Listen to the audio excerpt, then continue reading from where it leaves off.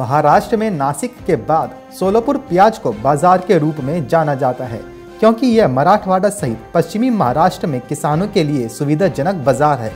इसलिए वाहनों की कतारें बनी रहती हैं। इस समय खरीफ सीज़न में लाल प्याज की आवक बड़ी मात्रा में हो रही थी। इसके अलावा, प्याज सीधे सोलापुर बाज़ार में पेश किया जा रहा था, क्योंकि कीमत भी स्थिर है। लेकिन उसी समय रिकॉर्ड आवकें के साथ प्याज की कीमत का गणित गड़बड़ा गया। दो दिन पहले, तीन दिन की छुट्टी के बाद यहाँ सिद्धेश्वर कृषि उपज मंडी समिति में इकहत्तर हज़ार क्विंटल प्याज पहुँचा। नतीजतन कीमत दो सौ पचास रुपये दो सौ हो गई थी। वर्तमान में खरीफ प्याज की कटाई जोरों पर है। प्याज की कीमत अधिक होने के कारण किसान निकाले गए प्याज को बेचने के लिए उत्सुक है। नतीजा ये रहा कि शनिवार को बाज़ार समिति के सामने 700 वाहनों की कतारें लग गई, जिससे किसानों को परेशानी का सामना करना पड़ा था।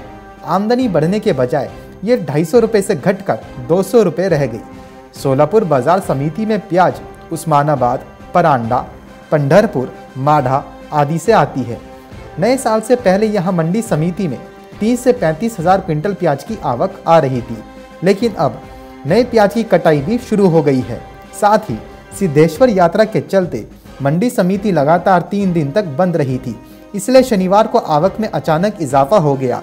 आवक दो गुनी होने से रेट में भी कमी आई है। इसलिए देखना होगा कि सात सौ रुपये प्रति क्विंटल की कीमत वाली प्याज सीधे पंद्रह सौ रुपये प्रति क्विंटल पर बेचे जाने के बाद किसानों का आगे क्या कदम होगा? मराठवाड़ा और पश्चिमी महाराष्ट्र में मौसम विभाग ने बेमौसम बारिश की चेतावनी दी है। बादल छाए रहने से किसानों की चिंता बढ़ गई है। लेकिन रविवार की रात उस्मानाबाद, परांडा और बरसी इलाकों में भारी बारिश हुई। जिसकी वजह से कई जगह कटी हुई प्याज खराब हो गई। अचानक हुई बारिश ने प्याज की फ़सलों को बड़े पैमाने पर नुकसान पहुँचाया है, जिससे कई किसानों को लाखों का नुकसान भी हुआ है। Report, market times, TV.